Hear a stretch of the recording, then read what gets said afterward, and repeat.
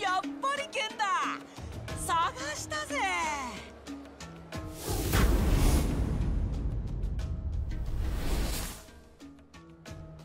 バットなぜここにいる？剣とサザンクロスの手前で別れてからいろいろあったんだよ。車は壊れるし奴隷商人に捕まって売り飛ばされそうになるし。その奴隷商人どもは強豪軍とかいう連中にぶっ殺されるし。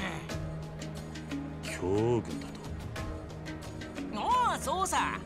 俺も強豪軍に殺されそうになって逃げてきたんだよ。本当に危なかったんだぜ。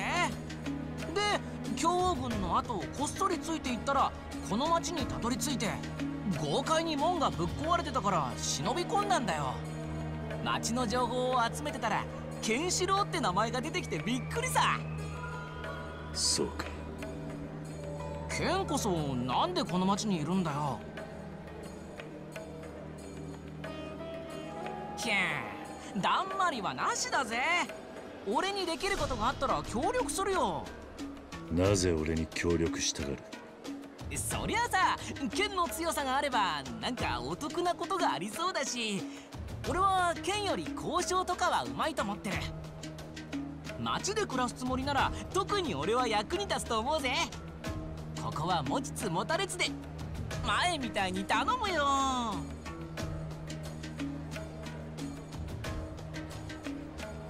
ふん。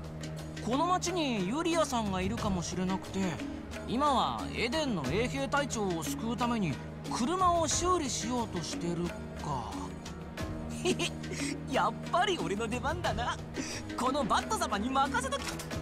バット何をする気だ？車を作るんだよ。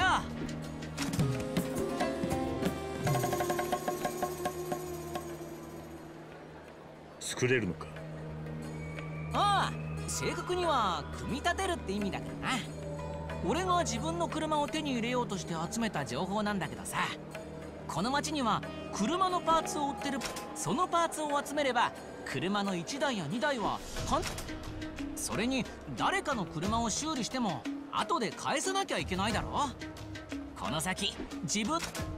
そうだなそうと決め